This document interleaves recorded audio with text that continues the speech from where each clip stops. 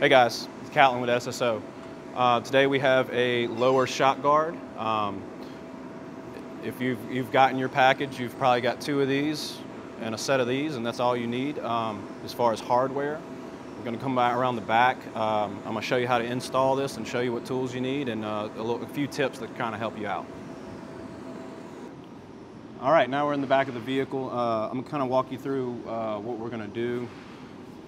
Uh, this does not require you to jack up the vehicle or remove the wheel, but removing the wheel will make it easier. Uh, I'm going to show you a couple tips um, uh, that are, are, optional, but also will help you too. Um, the tools you're going to need, um, first of all, you're going to need a 27 millimeter socket. If you don't want, have one, you can go to your local auto parts store and usually you can rent one if you need to.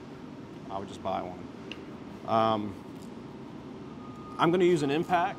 Uh, if you've been on the forums, this is a very hard bolt to break.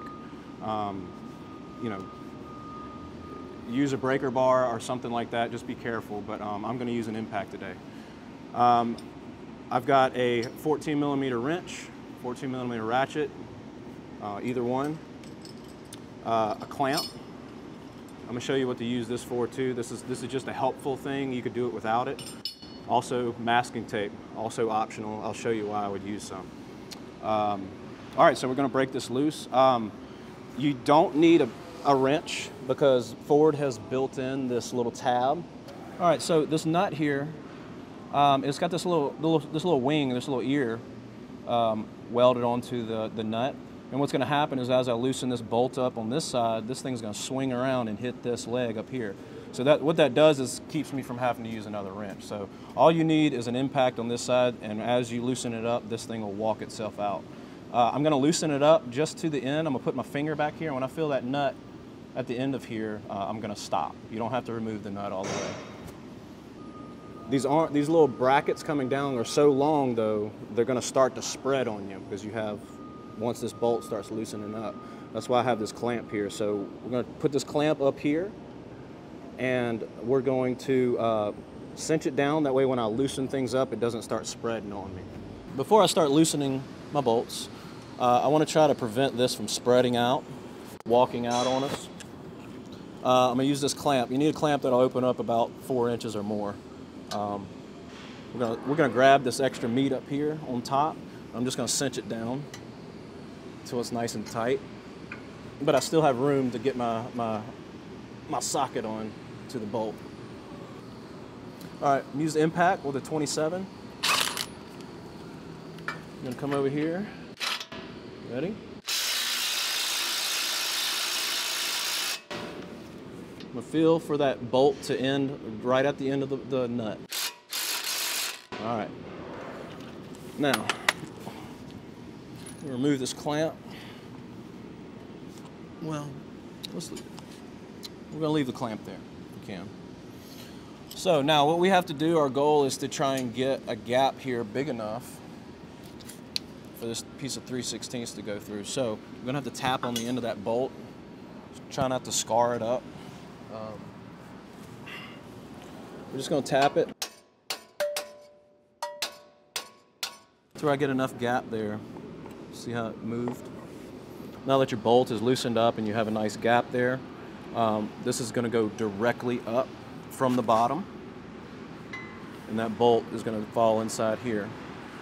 Your nut's going to be on the outside, bolt head is going to be on the outside here. This bolt and nut here will be passing through this hole and through the hole on the side of the um, lower shock mount bracket.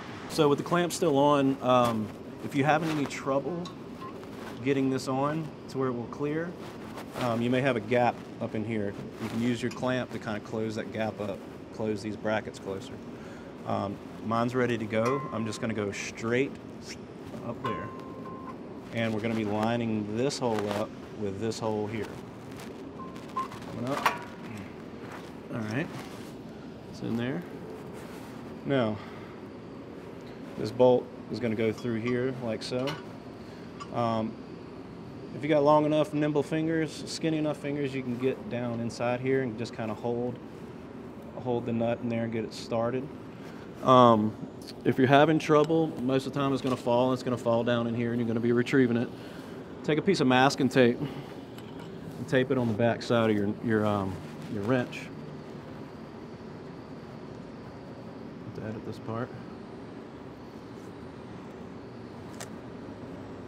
I'll take a piece of small small piece of uh, masking tape and I'll put it on my wrench. I'm gonna put my little nut inside there and make sure it can't fall off. Now, you can reach down in here. So I'm gonna fall in here, I'm gonna line that hole up and get my bolt started.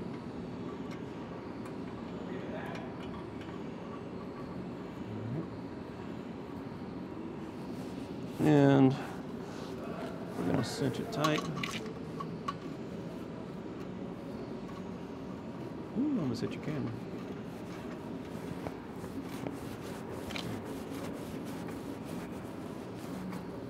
Alright, and now we just pull it off. Tape comes with it. Bolt stays in.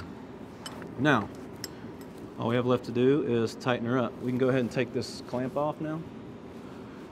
Uh, everybody's started. And our impact 27.